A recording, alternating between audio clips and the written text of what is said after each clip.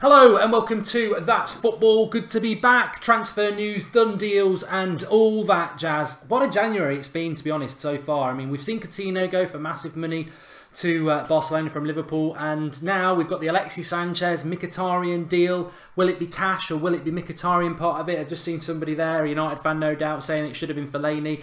Um, I don't know whether Arsenal are that stupid, but we'll see. But lots and lots going on, and I do think it's going to really heat up in the next couple of weeks as well. I think I think this is. I said it a few weeks ago. I think the January transfer window has always been a bit uh, a bit me, I suppose. Really, you know, you get the odd good deal, but I, I do think it's going to be become more like it has been this year more exciting. The mini transfer window in the middle of the season. I know a lot of managers don't like it, but for fans, post Christmas blues and all that, it, you know, you've got your football, but you've also got your transfer news, and it is an opportunity to go and do things that maybe you ran out of time with in the summer. And I think running out of time in the summer is interesting because Sanchez was going to Man City on August 31st. They ran out of time. They thought they'd get him in January, and look how things change. But we're starting off with Aubameyang to Arsenal, and one thing I'd say about Arsenal Football Club is they are very, very, very clever because they um, they there was something out today. I saw that they they charge per person more than any other club in the country, possibly in the world, to go and watch games at the Emirates. But they're never going to win the league. They're not. They're nowhere near winning the league at the moment. And I think while Wenger's in charge,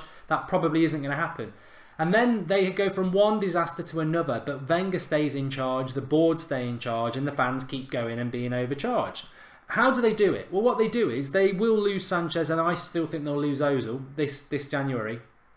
But what they'll go and do at the same time is it won't be like there won't be any time for the fans to dwell on it. There'll be a massive negative, but a little positive as well. And I think the massive massive negative is they are going to lose Alexis Sanchez to Manchester United, um, their best player by a long way. But what they'll do is they'll get Mkhitaryan and they'll be like, oh yeah, we can turn him into a player.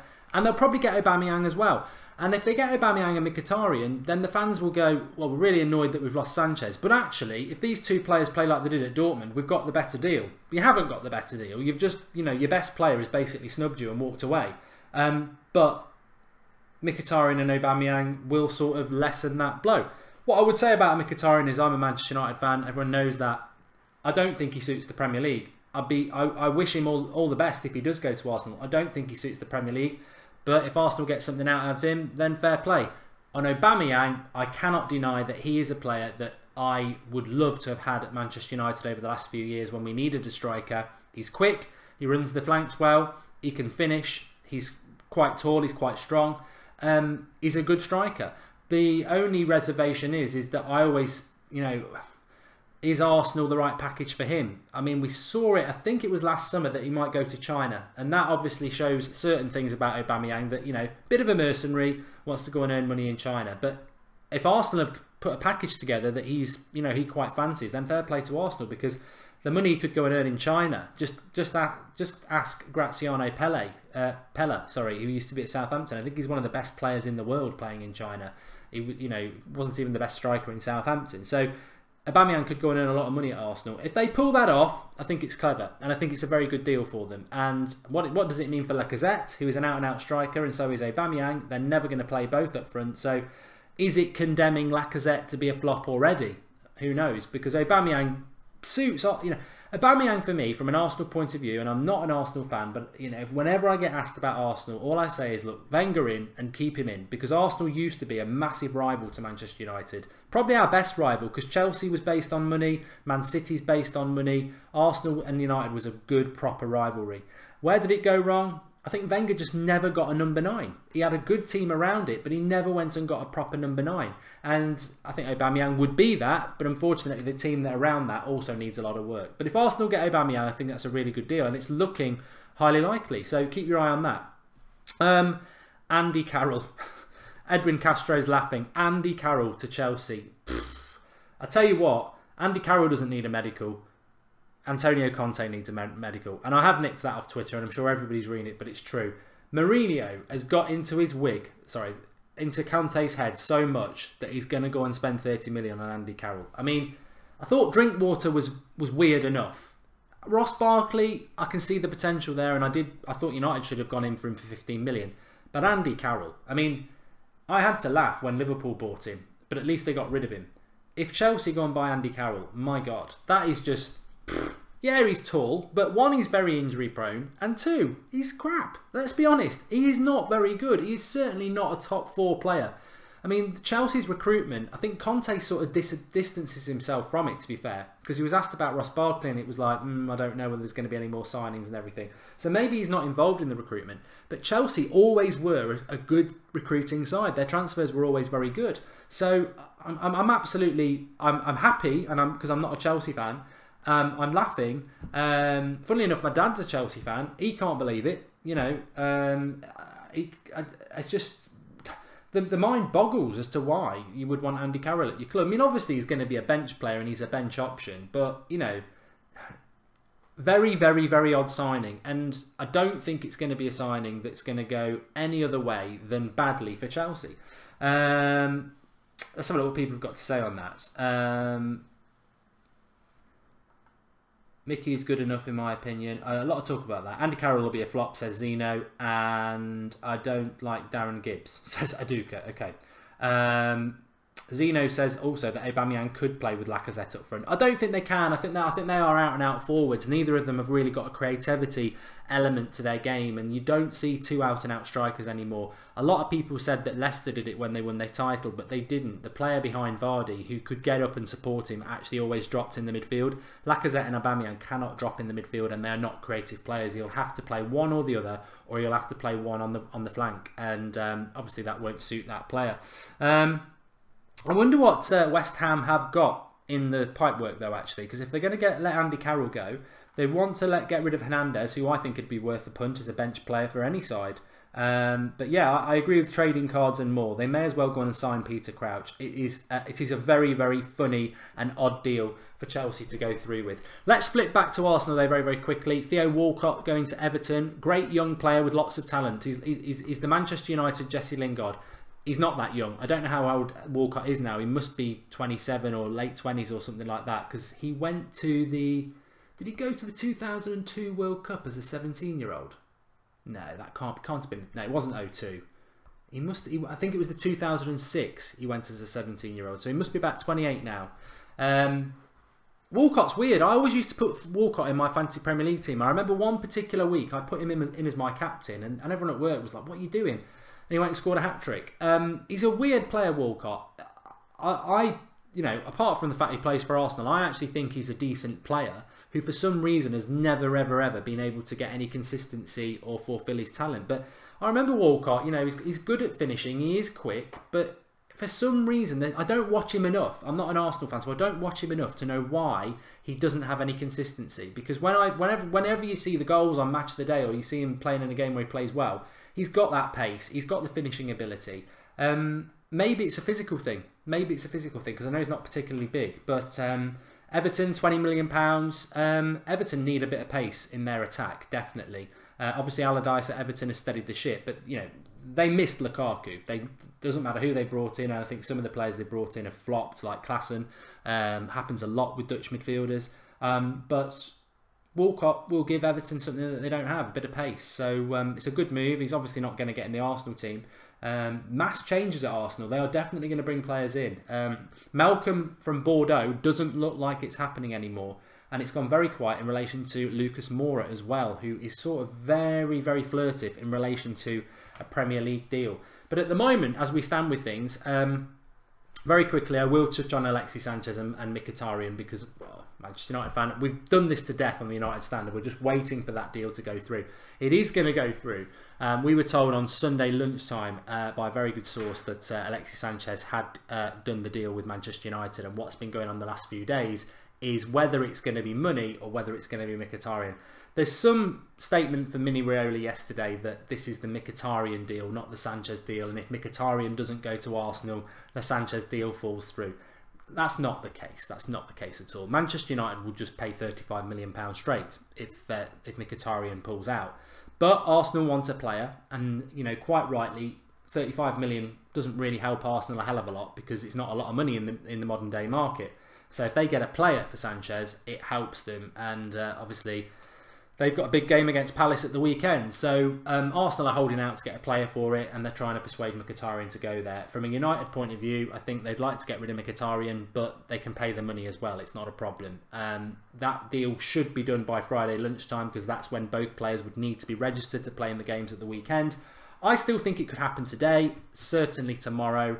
Um, keep your eye on that. In relation to Arsenal, I also expect Arsenal to do business this week. I think Aubameyang or Malcom, although I said Malcom probably won't happen, I think Arsenal will look to do that deal, as I said at the start of the video, very, very quickly. They will not want meltdowns and uh, anger and everything like that at a home game on Saturday. There will be frustration, but they will quickly be moving to try and ease that frustration. And I would say that Sanchez and Manchester United are probably quite frustrated saying, look, we had this deal done on Sunday, we want to announce it. And Arsenal will be saying, look, we need a little bit of time here because if we, we let you announce that and we've got nothing in place, there's going to be a lot of problems. And I think Arsenal just want to have something positive in place to sort of kid their fans in a way and say, look, we've got Aubameyang, yeah, Sanchez is gone, but look, we've got Aubameyang and, and, and Mkhitaryan. And you can't blame Arsenal for trying to do that. And I think that's what's going to happen. So it's frustrating for United fans. It's frustrating because we know the deal's going to be done. We just want it to be done. And um, but yeah, I, I, I think Arsenal will be doing some deals this week. Um, let's have a look what people are saying in the live comments. Um, still say we should have tried to get Aubameyang last year. He's top 10 striker in the world. Martial and Rashford would learn so much. That's Dorian Joseph, who's a United fan. Look, if um, if, if Arsenal get Aubameyang, again, it's a bit like if Sanchez had gone to Manchester City or, or maybe Chelsea um, in fact, we did the video on here a couple of weeks ago, didn't we? I, I, said when it looked like Sanchez were going to Man City, I said, what a statement that is. You know, they're, they're, they're comfortably top of the league, they're going to win the title, and they're going to go and add one of the best players in the Premier League. I mean, yes, you can have your club loyalty, but this is the point of this channel, really. It's, you know, we want, we want the banter, we want the chat, but we want it to be more collective from fans from all clubs. And Alexis Sanchez is a great player wherever he goes. Fortunately, he's coming to Manchester United. Aubameyang is a player that I've mentioned on the United stand for the last two, three years and said I would love him at Manchester United. Not anymore. We've got Lukaku, and I wouldn't swap Lukaku for Aubameyang. I know some people would, but I wouldn't. So it'd be it'd be a waste of time at United. But if he does go to Arsenal, which looks likely, I'm not going to suddenly say he's, he's rubbish. Obviously, the jury's out on whether he can adapt to the Premier League because the Premier League has been the graveyard of players that you'd think will be fantastic. Mkhitaryan, uh, Kagawa, uh, Sebastian Veron from years ago. There's loads and loads of players who've just not been able to do it in the Premier League. But I do think Aubameyang will suit the Premier League. There is a lot of chances in the Premier League. It's quick and he's quick. Um, I think he'll bring a different dimension to Arsenal and a little bit more direct. But he's an out and out goal scorer, and I think Arsenal haven't had that for years. And we might see probably a little bit too late for Arsenal because for many years they've had the team behind that number nine, but they've not had the number nine. They may potentially get the number nine now, but they don't really have the players behind. Ozil's going to go. Sanchez has gone. You know, Ramsey and Wilshere. It's not the same as some of the players they've had over the years. Even like the, you know the likes of Cazorla, uh, Rosicky. You know, many many good creative players that Arsenal have had. So, um, but you'll give him something, and he is a good player. And don't worry, Griezmann will never sign for Man City. He's a player who plays for historical clubs, says Blizzard Crushing. Well, there's, there's, you know, that's more of a summer thing. Uh, summer thing. Um, thanks for the contribution, Mikey, mate. Uh, where would you play Sanchez? Love the channel, Mark. Um, thanks for the contribution, Mikey. I cannot tell you where I would play Alexis Sanchez because it's my one little bit I've kept back for the United stand, and I keep getting asked in this all the time. And my answer is I'm going to do a video on where Sanchez will play for Manchester United, but I'm going to do it when he's signed. It's my little sort of little cherry on the cake when he has signed. I've kept that back purposely. But I do know, um, I don't know where Mourinho would play him, but I know where I would play him, and it's not necessarily where a lot of people would play him. So I'm looking forward to doing that video, so keep an eye out for that when he's signed. Um, Liverpool should sign a player, says Umar Ahmed. Um, thank you. I mean, it's good to get a Liverpool fan on. I mean, uh, Van Dijk's been a good signing but Coutinho has gone. Um, they've inquired about Goretzka apparently, and I think Goretzka's a fantastic player, um, really, really good, and he's free in the summer. But Goretzka looks like he's agreed a deal with Bayern Munich, although technically I don't think he can publicly do that because it's in the same country. It's like this country, you know. His contract's up in the summer, but you can't do a deal with someone in your country, but you can talk to clubs outside. Um, from a United perspective, I hope he goes to Bayern Munich because he's a great player. Well, he's not a great player yet, but he's a very good player. I'd like him at United. So if Liverpool get him, he's a good signing. Riyad Mahrez is interesting. I think he wants out of uh, of Liverpool. Uh, sorry, Leicester. I'm sure he'd go to Liverpool, but Liverpool I think briefed the press to say that they weren't in for him, and I think he would be 45 million pounds. Lemar from Monaco is a player that Liverpool have been linked with. It's gone a bit quiet around Liverpool, but I think Liverpool do need to add somebody. Coutinho goes. They've still got Firmino, Salah, Mane, uh, a really good front three. Um, and Lallana's obviously coming back, but they need something else. You know, if Salah does his hamstring or Mane or Firmino, that you know they're scraping the barrel a bit, and I think they will be looking to bring somebody in who. It's interesting. I think Liverpool, as I said, I think this January transfer window has been great. It's been really exciting, and there's a lot going on. Um, and I, and I think it, hopefully, I'm I, I like. I don't know about you lot. I like the transfer. I love the transfer window in the summer, um, and I like the fact that the January transfer window is now becoming a bit more interesting. As I said, I know the clubs and the fan and the managers don't like it, but who cares? You know, this is something for the fans, and it, you know, transfer business always does get you excited, especially when it's signings that are going to improve your club. And you know, Arsenal hands are tied in relation to Sanchez and Ozil. That's their fault. How they've let them get to within six months of the end of the contract is for their fans to question their club about it. But Aubameyang in January is a massive signing because Aubameyang's a you know world known striker. Sanchez to United, it's a massive signing. Coutinho to Barcelona, it's a massive signing. Van Dijk to Liverpool, you know they need a centre back. A lot of money spent on him. Um, so a lot of clubs are doing a lot of bit. Andy Carroll to Chelsea, a banter signing, but there's a lot of signings going on, and I think there will be more. We were only on. We've still got two weeks today. The transfer window closes, so lots and lots going on.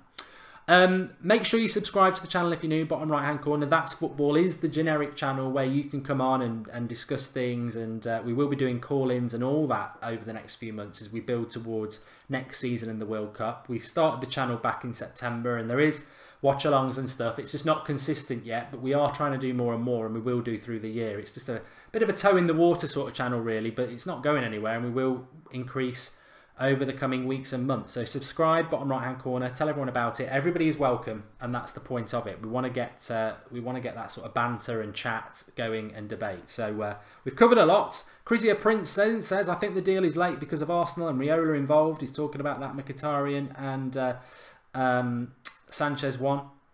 It'll go through, don't worry about it. It's definitely going to go through. Uh, smash the like button on the video, subscribe to the channel if you're new, and uh, we will be back. I think we're going to do one tomorrow. I think we'll probably do one tomorrow around half past one as well. So uh, I've got a bit of spare time at the moment. So I think tomorrow at uh, about half past one, we'll do another transfer show for you. And um, I think I think it's going to be very interesting, very interesting. Um, the next watch along, I've not looked at the weekend fixtures, but I'm sure Sandra will fancy doing one.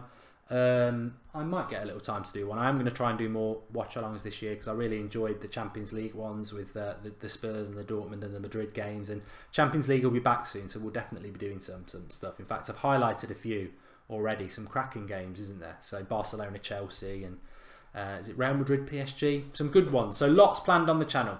Thanks everyone. Thanks for all the nice comments and. Uh, I'll speak to you soon. Mad Marcus Mondays, Dr. Chunky Biscuit, he's got to get match fit. But yes, it's definitely on. I'll speak to you soon. Thanks for watching.